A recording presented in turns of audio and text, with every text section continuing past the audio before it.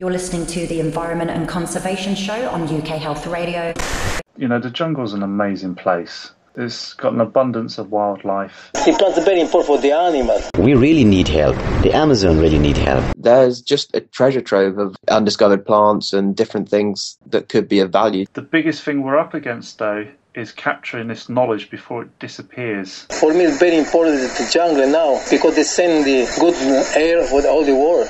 Don't cut too much trees. Lost tribes mean if we don't get our act together, they will be lost, the forest will be lost, and us as well. We need to protect enormous swathes of forest, which in doing protects the watershed, which in doing fights climate change you have to remember that some of these communities are dependent upon the jungle all the way around them. When you see that even though we know cutting down forest to a large degree is a bad idea, primary forest, it still continues, and people know it's bad, but they still do it, the stakes are pretty high.